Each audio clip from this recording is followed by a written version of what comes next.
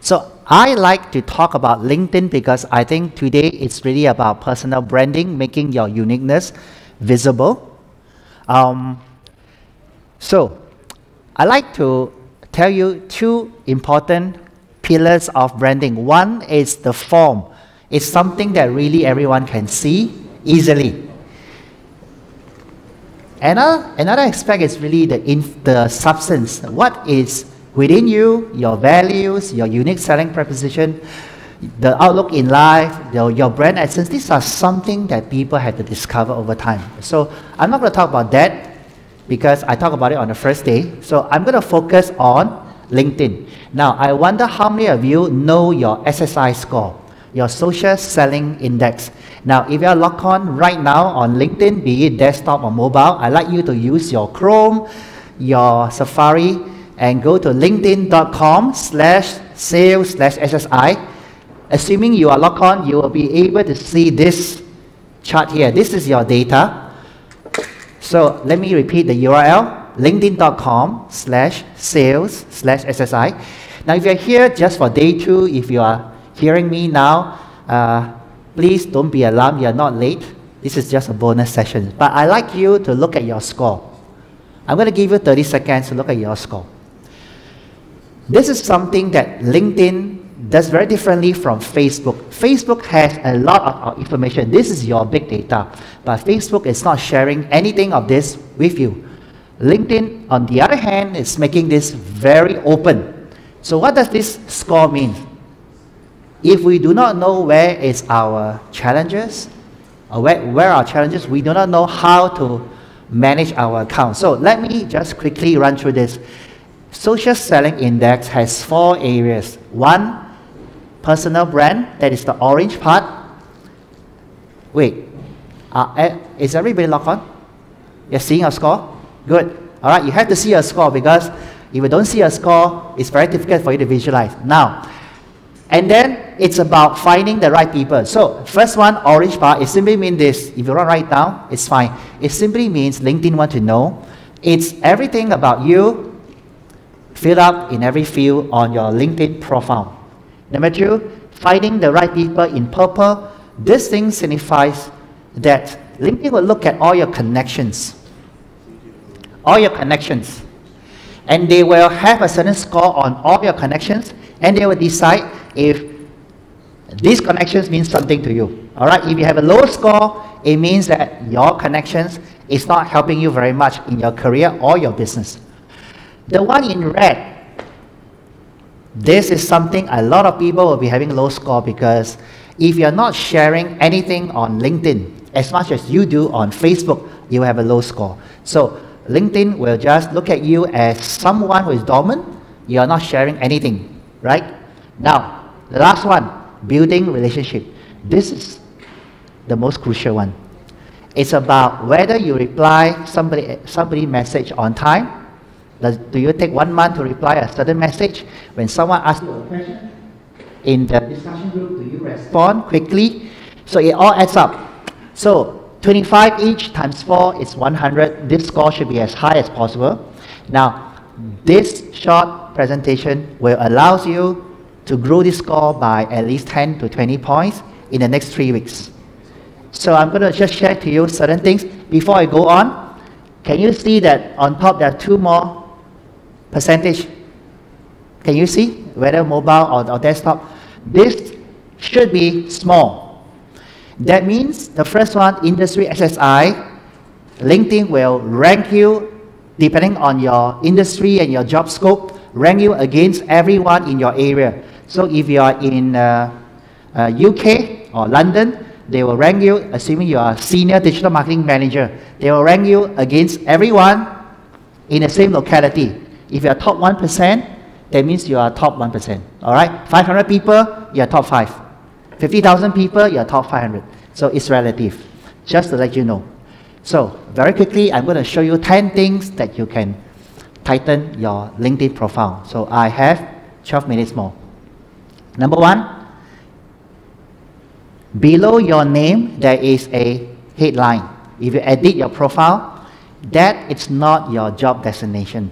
If you do not key in anything, LinkedIn will truncate that with your latest work experience. And that's not fair to you because every brand will have a tagline. Yesterday, when we talk about brand story, when we, when we talk about story finding, everything is encapsulated into a tagline. So, what is your tagline? If you're a brand, what will your tagline be?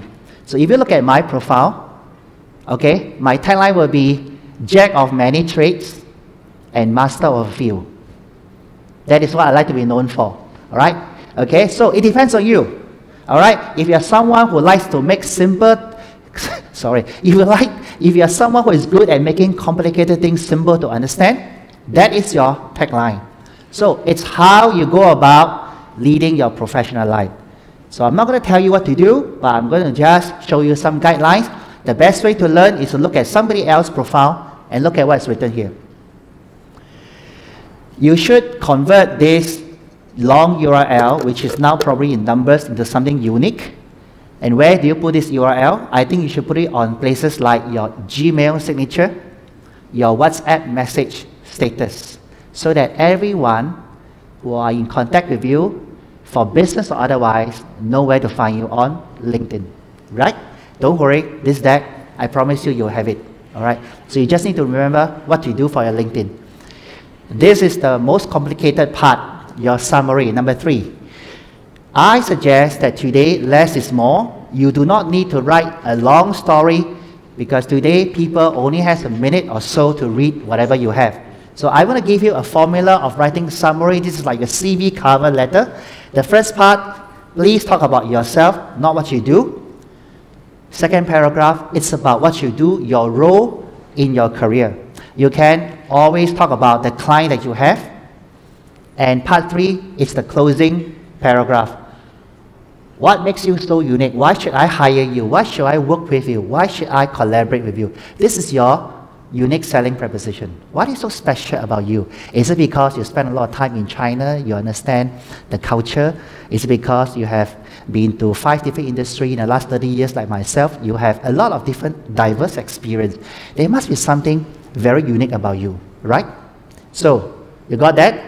Three paragraph, and I suggest you do it under 150 words. Number four, you need to get used to this word now, social portfolio. It simply means this. Can I or anybody find a link to show that you have done what you have done, what you said you have done in your profile? So I'll give an example. If you have been a teacher before, if you have a SlideShare account that I can see your presentation, that would be wonderful. If you're a designer, all right, if I can have access to your Pinterest, your Instagram, to look at your world, that would be wonderful. If you have been uh, doing marketing and you're involved in a lot of TV ads, for example, then where is the YouTube video? So LinkedIn is a place where you can substantiate a lot of things that you have said or that you have done through a lot of different links. So uh, when you look at certain people's profile, it looks like a multimedia portal. All right, that's because they upload a lot of different links onto it, and I think you should as well. All right, so from today onwards, please Google yourself.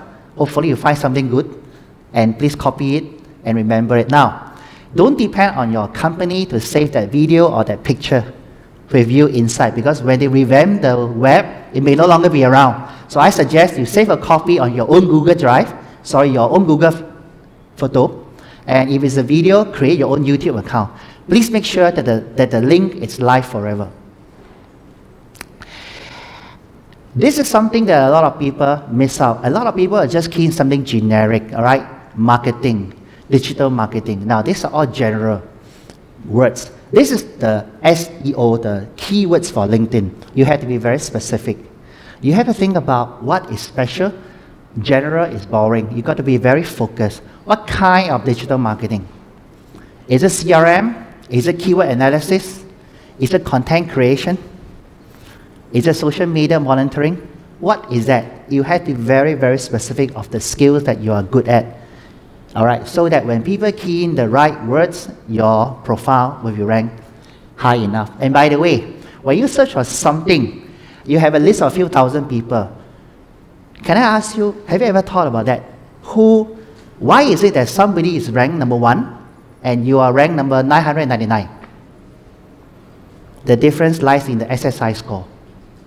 Okay? So, Now, I'm coming to the end. It's very fast, right? Work experience. I'm very sure a lot of us will be keying in a lot of job description. Am I right? You do this, you organize this, you report to this, you generate that. Today, I suggest you should erase everything and just simply key in your work achievement. Because you're going to write this part as if the headhunter is reading it, whether you are in business or not, because no one rewards a doer. And by the way, all job descriptions are the same.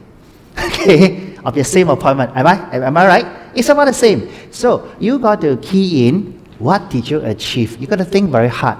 Achievement statement is what people are looking for for a brand. And I think we should have this habit that LinkedIn is the new name card. So remember yesterday I did not give out any name cards and I played the game. How many of you are not here yesterday? You're not here yesterday. Okay? So maybe uh, after lunch I will play the LinkedIn connection game again. So this time please be alert and take out your mobile so that we can all connect everyone in the room through LinkedIn. All right? I will. So so today Take out all your old name cards in your drawer and make sure you find everyone on LinkedIn. That is what I like you to do. Okay? Because when you walk out of the company, you cannot take away any name cards, but your connections really stay with you. All right?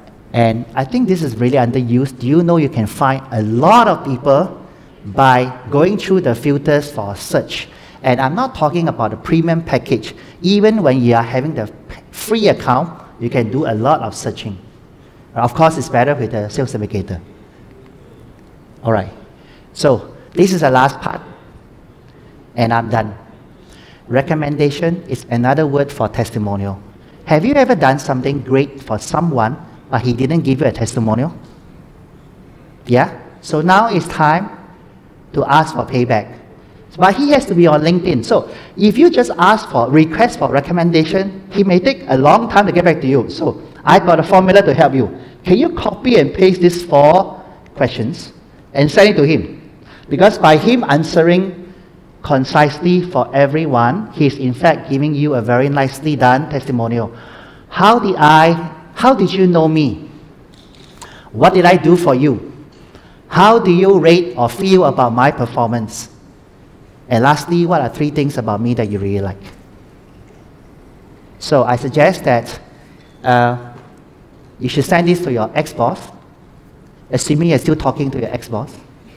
Okay? All right? And ask, get, get one uh, from the site, one from customer, one from your boss, and one from the one that you work with. Maybe he reports to you. I think that would be great for every work experience, have at least three recommendations. So, I have, a, I have a few more less important slides. I will not dwell on it. But this is the important seven, eight points I'd like you to take away so that from today onwards, just don't think of digital marketing as a job. It's a lifestyle. If I know you're a marketer, I will want to know how well you market yourself. Of course, that's just me, but I'm very sure a lot of millennials are quietly searching for you under the table who using LinkedIn or Google. So, thank you very much for listening, and I'll see you again at 10, 10 a.m. All right, thank you.